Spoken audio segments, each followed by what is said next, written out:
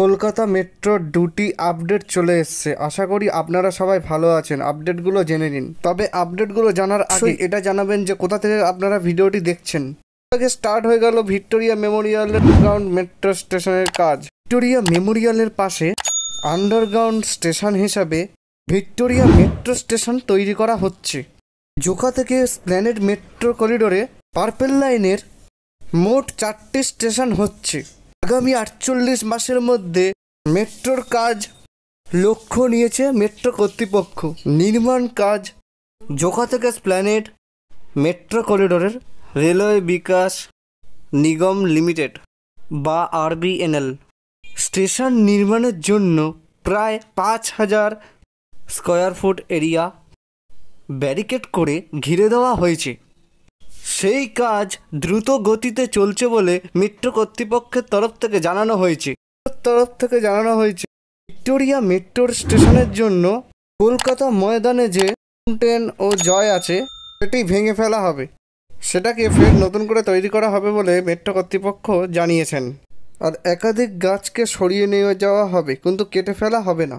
স্টেশনের নির্মাণ কাজ শুরু হওয়ার আগে শেষ মুহূর্তের কাজ চলছে। উপস্থিতির জন্য তিরিশ সপ্তাহ লাগবে বলে খবর পাওয়া গিয়ে। কাট অ্যান্ড কভার পদ্ধতির মাধ্যমে স্টেশন নির্মাণ করা হবে। ব্যারিকেডে বসানোর পর ডায়ারফর্ম তৈরি করবেন আরবিএনএল, যেটা তিনশো পঁচিশ মিটারের মতন লম্বা হবে। ভিক্টোরিয়া মেমোরিয়াল হল কর্তৃপক্ষের তরফে নো অবজেকশন সার্টিফিকেট পেয়েছে। মেট্রো কর্তৃপক্ষ। মেট্রোর তরফ থেকে জানানো হয়েছে, স্টেশন নির্মাণের সময় ও মেট্রো চলাচলের সময় মাটি কতটা কাঁপবে তা নিয়ে পরীক্ষা চালানো হয়েছিল। সেই রিপোর্টের ভিত্তিতে ভিক্টোরিয়া মেমোরিয়াল হল কর্তৃপক্ষ সবুজ সংকেত মিলেছে।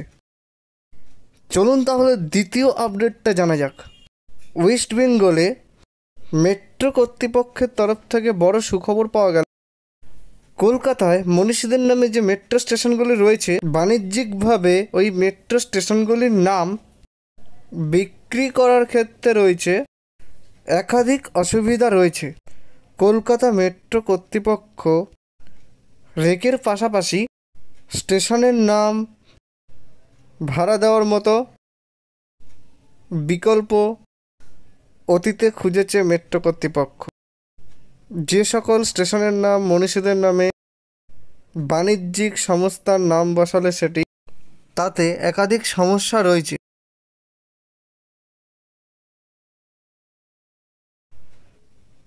ওই তাই ওইসব স্টেশনে ভাড়া দিয়ে ইনকামের পথ বন্ধ।